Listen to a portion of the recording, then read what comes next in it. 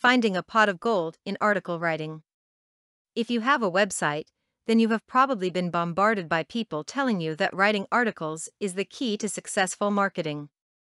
However, unless you are a professional writer, article writing probably seems as unachievable as obtaining that pot of gold at the end of the rainbow. Well, you may not be able to find the end of the rainbow, but you can achieve the task of writing an article.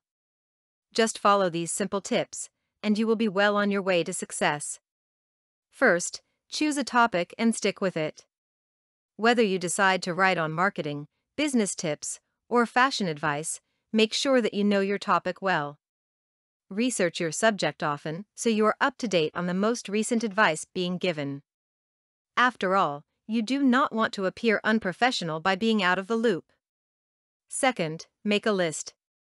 Many successful articles are top 10, 5, 3 lists.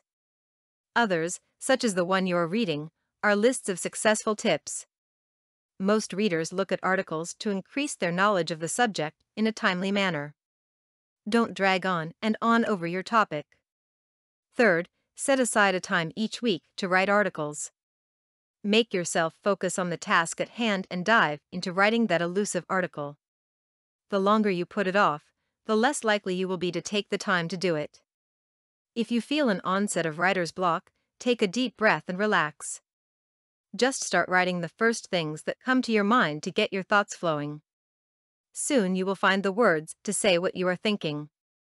Overall, remember that article writing does not have to be a burdensome task. If you know your business, then you have plenty of advice to share with other people. Have someone else read your article when it is completed to have an outsider's point of view. Just as Dorothy found her way over the rainbow, you can find your way to writing a successful article. Now go put your pen to the page and show yourself what you can do. Content produced and distributed by All Super Info. All rights reserved.